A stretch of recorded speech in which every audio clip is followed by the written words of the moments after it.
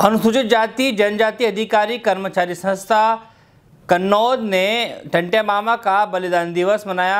कार्यक्रम की शुरुआत टंटिया मामा एवं बाबा साहब अंबेडकर के चित्र पर माल्यार्पण कर किया गया। स्वागत भाषण और कार्यक्रम की अध्यक्षता कन्नौज तहसील अध्यक्ष नंदलाल हरियाले ने की।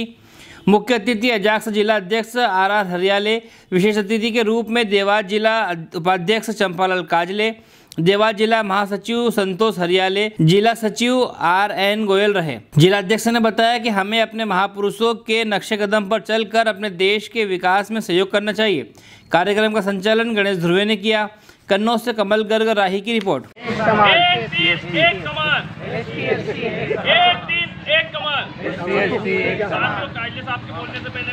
एक